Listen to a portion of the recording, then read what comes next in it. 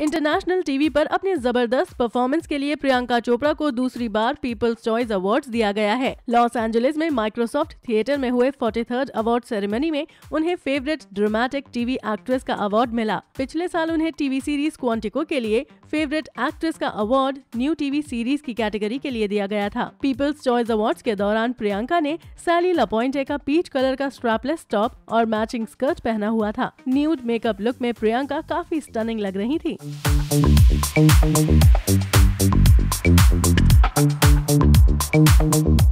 अभी वीडियो को लाइक करें शेयर करें और अभी चैनल को सब्सक्राइब करें। इसी तरह की चटपटी न्यूज़ देखने के लिए फिर मिलेंगे मसालेदार खबरों के साथ। Bye bye